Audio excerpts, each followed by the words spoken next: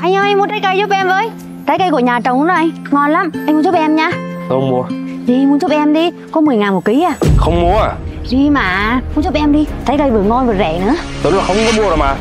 Cái anh này Sao anh quá đáng quá vậy? Tôi không có mua. À Tôi nói cô không nghe sao. Sao có lì quá vậy?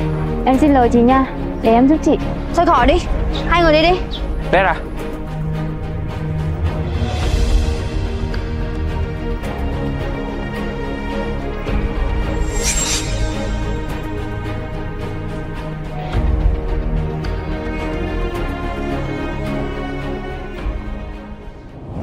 Anh ơi anh. Anh xem giúp em Em có trách nhận Xem được giá được bao nhiêu ạ? Chẳng gì?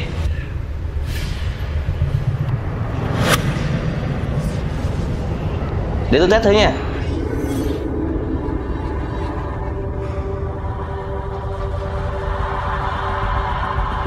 Ồ đây là nhãn kim cương thiệt đấy nha.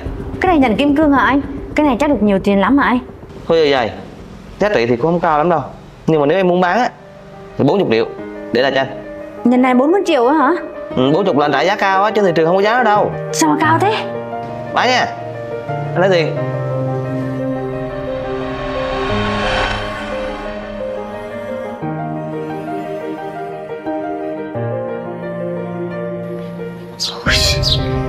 Giá to rồi. Cái này bán chắc được nhiều tiền lắm. Đấy Chị hai. Em Chúng ta giàu to rồi. Thì chị lấy đâu ra vậy? Chỉ mới lường được đó. Chị hai Em nói chị nghe nè. Chúng ta nghèo thì nghèo thiệt đó Mà chị đừng lấy đồ của người khác làm của riêng cho mình như vậy. Ông trời ông có mắt Ông sẽ thấy được những điều chúng ta đang làm đó. Chị đem trả cho họ đi. Thế rồi Để chị tìm cách chị trả lại cho người ta. Ừ, Đúng rồi đó chị. Thế rồi chị đi nhá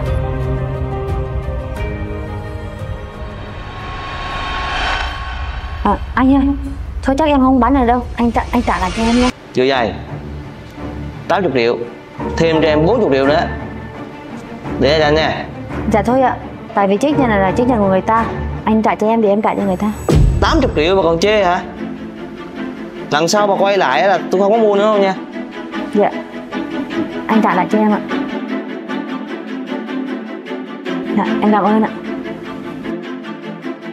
Thôi giờ tôi trả thêm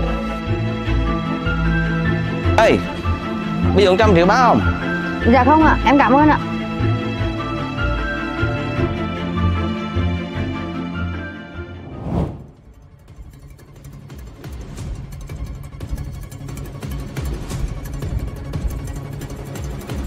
À này cô kia Đi đâu đây vậy? Để nói là không cho bán ở đây nữa rồi mà sao vậy? Dạ chị ơi em có chuyện quan trọng muốn nói với anh trong kia kìa chị. Chuyện gì mày nói chứ? Cô đừng ở đó mà xạo tôi nha. Cô đi chỗ khác đi nhanh đi Em nói thật mà chị Em có chuyện quan trọng lắm. Chị cho em vào một chút thôi nhá Nhá. Thiệt không? Dạ thật. Được rồi đứng đó đi. Để tôi vô tôi hỏi người ta đã. Dạ anh chị ơi Anh chị có biết cô gái kia không ạ? Cô ấy muốn gặp anh chị á. Không Tôi không quen cô ta. Rủ cô ta đi đi. Rồi rồi Để em ra em rửa đi liền. Này cô kia. Cô đừng có ở đó mà xạo tôi nha. Người ta nói là người ta không có biết cô đó. Cô mau đi chỗ khác đi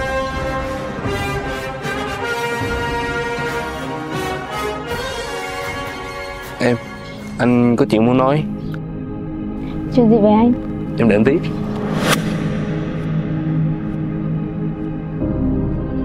Anh kiếm gì hả? À không có gì em đợi anh tí Ôi da.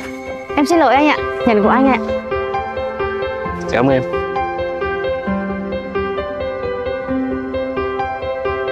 Của anh anh có sao À anh không sao.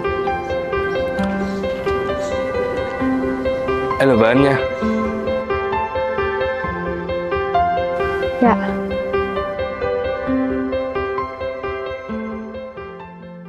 Ủa chị hai Là chị có bán được không mà còn nhiều quá vậy?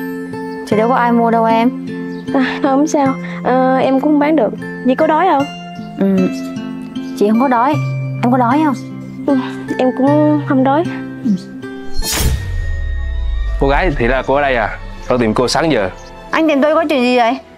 Tôi không có làm gì nhận của anh đâu. Tôi chỉ mang đến trả thôi à Không phải Tôi đến đây để xin lỗi cô chuyện khi sáng Không có gì đâu à, Mà trái cây cô hàng ngày bán được bao nhiêu tiền Thì cũng đủ sống qua ngày thôi à Giờ nói mới thấy trái cây của cô vừa ngon vừa tươi nhở Đây, tôi tính như thế này.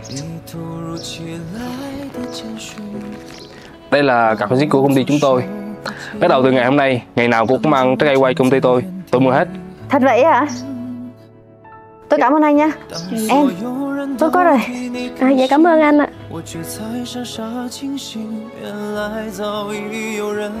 Vậy là từ nay về sau chị em mình á ngày nào cũng có công ăn à? Dạ. yeah.